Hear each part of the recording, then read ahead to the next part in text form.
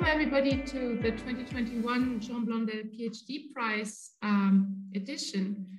This year, the jury, about um, jury, I'll say a bit more in a minute. This year, the jury awarded the prize to Andreas Juon, University College London, for his thesis entitled Grievances, Identity, and Political Opportunity, the effects of corporate and liberal power sharing on ethnic conflict. I won't say anything about the thesis, other people are way better place to do that, but I would like to say a little bit about how we established the prize.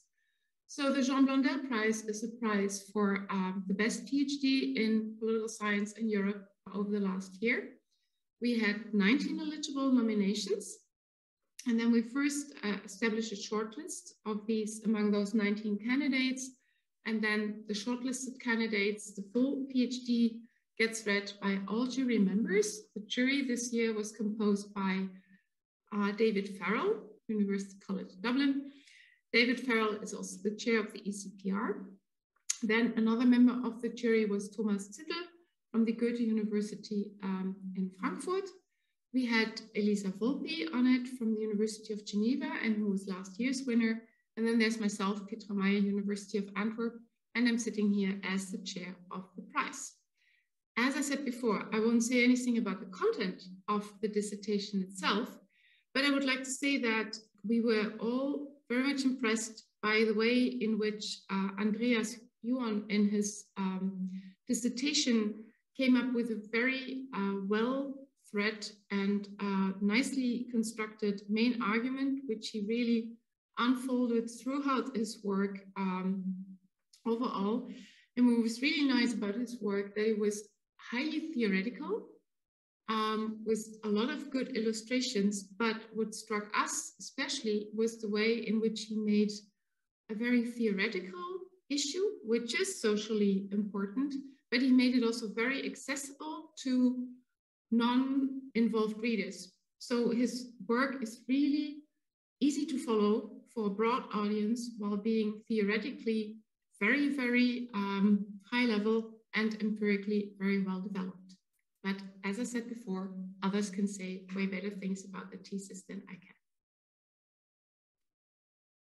Um, my name is Kristin Bakke. I'm a professor of political science and international relations at UCL, and I'm delighted to hear that Andreas' research has been recognized with this award. Along with my colleague Nils Metternich, I supervised Andreas's PhD thesis, and it was a pleasure and a privilege, really, from, from the very beginning to work with Andreas. Andreas is an exceptional researcher who holds himself to high standards, and the thesis reflects that. It asks important questions about how institutional engineering, in the form of different power sharing arrangements, can reduce the chances of armed conflict. It demonstrates wide reading across several distinct bodies of literature, masterfully integrating them to develop an original argument. A central contribution of the thesis is, is the pacifying effects of ethnically based corporate power sharing versus its liberal alternative, paying attention to how specific institutional arrangements affect both elites and masses, majority and minority groups, and in the short term as well as the long term. The research design is ambitious, making use of a new global dataset covering institutionalized power sharing arrangements at the group level from 1945 to the present, and this was a massive data collection effort. Now in the thesis, Andreas also collates a number of attitudinal surveys to investigate arguments, causal mechanisms, or intermediate steps, showing how institutional arrangements affect both grievances and ethnic identification. And, and I think this is where Andreas really stands out. The argument is put to the test in every possible way, giving us confidence in him as a researcher, giving us confidence in the findings. So Andreas is a very, very worthy recipient of this uh, award, and I'm delighted to hear that uh, his work was uh, recognized this way. Well, thank you, um, Kristin. Um, my name is Nils Metternich. I'm also a professor at um, University College London, I was also a supervisor to Andreas.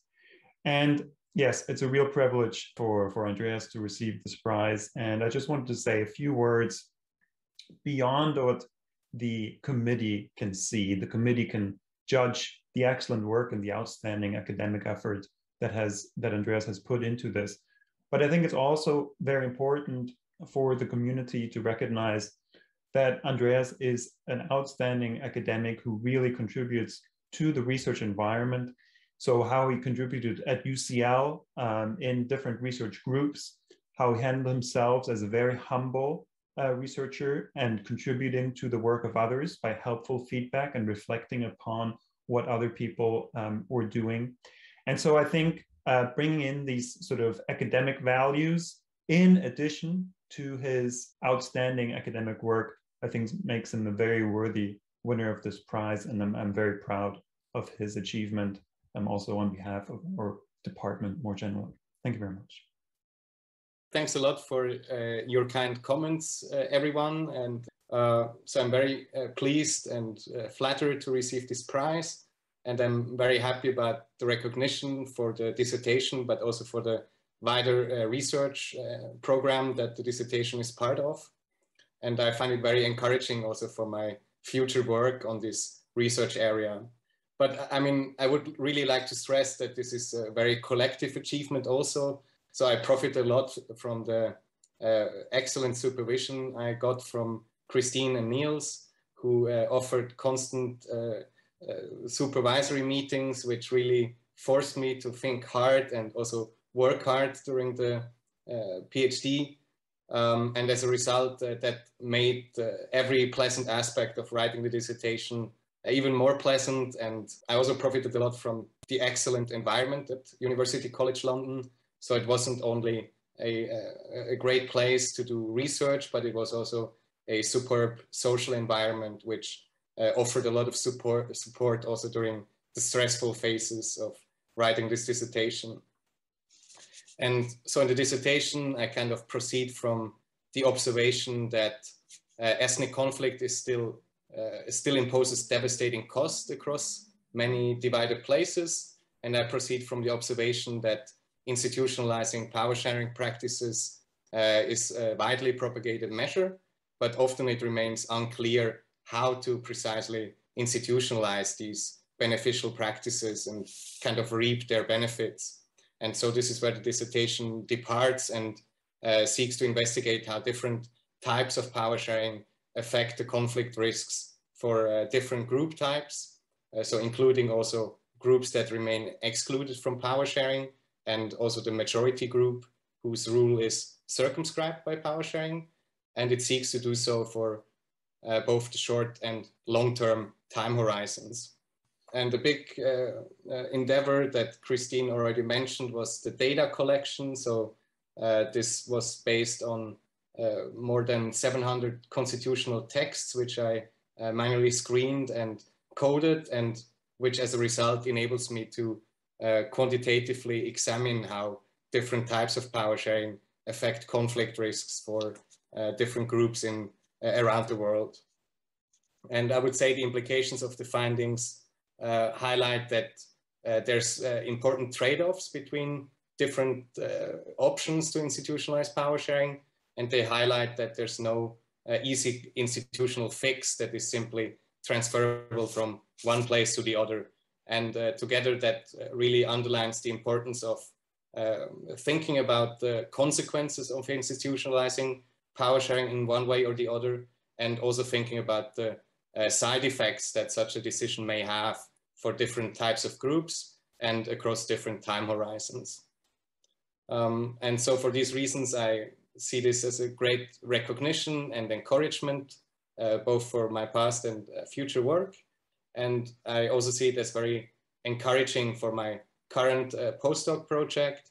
Uh, so currently I'm based at ETH Zurich in the International Conflict Research Group, where I uh, conduct a uh, project that examines the consequences of institutionalizing power sharing on uh, majority backlashes against minority accommodation. And so this is really a direct continuation of this dissertation, and I still profit from uh, all the support and input I received at UCL. So uh, thanks a lot to everyone for your kind words and uh, for your support throughout the process, Christine and Nils, and uh, all the encouraging feedback. Thanks so much. Jean Blondel PhD Prize jury is very happy to award the 21 edition to Andreas Juon. We truly hope that this dissertation will not only serve theory and science, but also society. And um, I would like to conclude on what one of the jury members wrote in um, the final report, which was, it's a major comparative contribution to studies of power sharing arrangements, having the global ambition that Blondel would have approved of. What else could we like to hope for with such a prize? Congratulations.